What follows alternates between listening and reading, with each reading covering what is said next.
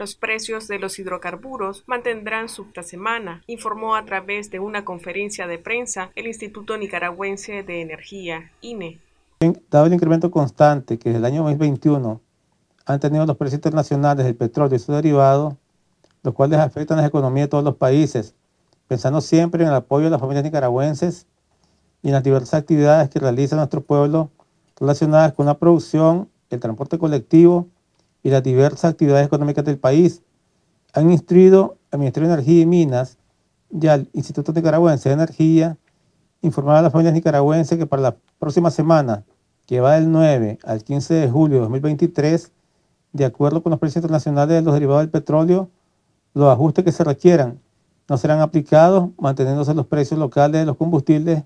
gasolinas y diésel sin variación, para beneficio de las familias nicaragüenses. En cuanto al gas de petróleo,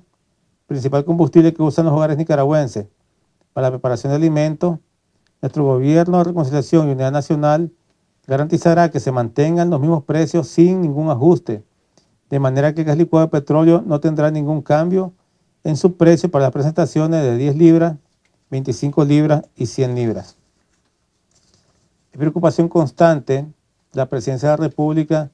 el impacto que estos precios tienen en la economía familiar y la economía de los sectores económicos del país. Por tanto, nuestro gobierno de reconciliación y unidad nacional, en lo sucesivo, continuará en seguimiento permanente del comportamiento de los precios internacionales y resto de variables que conforman el precio de los combustibles, y se tomarán las acciones y medidas correspondientes que permitan mitigar el impacto del incremento de estos precios en la economía de las familias nicaragüenses. Nos encontramos en el inicio de esta de este victorioso mes de julio y en la víspera cercana de la celebración del 44 aniversario de nuestra Revolución Popular Sandinista. Hace 44 años, el 19 de julio de 1979, se culminó el esfuerzo y sacrificio de todo un pueblo y de varias generaciones de nicaragüenses para derrotar a la dictadura somocista y marcar el inicio de una Nicaragua libre y soberana. En este contexto, les deseamos a todas las familias un feliz fin de semana, en armonía, paz, bienestar para Noticias 12, Gloria Campos.